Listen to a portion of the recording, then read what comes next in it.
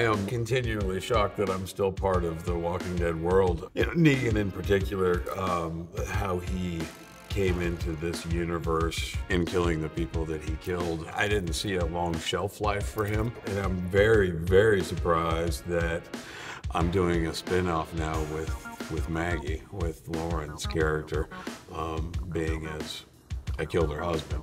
There were a couple ways that it may have happened when we got near the end of The Walking Dead, and, and this idea came up for this story for Jeff and I. And with the way that the show serves so many different storylines, and for us to get to unpack something so potent in a different show just felt like a really cool story and a really cool opportunity. It's definitely not a love story. Um, there is a lot of tension. Uh, I think we're we're working as a team out of a necessity. I think fans will be interested to see how these two unlikely people are in the same place for a sustained amount of time.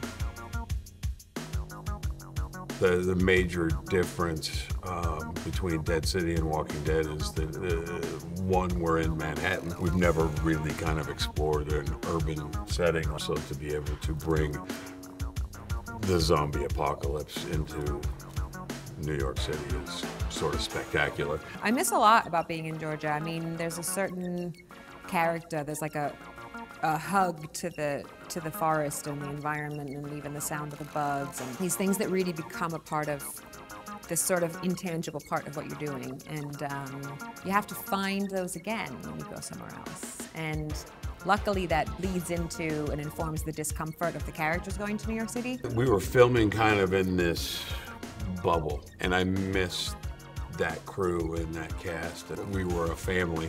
I think both of us had trouble um, working without everybody um, because there we are still playing the same characters and, and in the same world and it felt odd doing it without the, the usual faces that we saw every single day for forever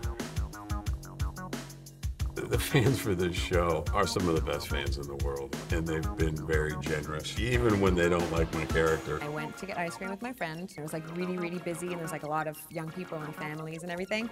And the guy behind the counter, so he looked up and he went, "Are you?" Like this, and I went.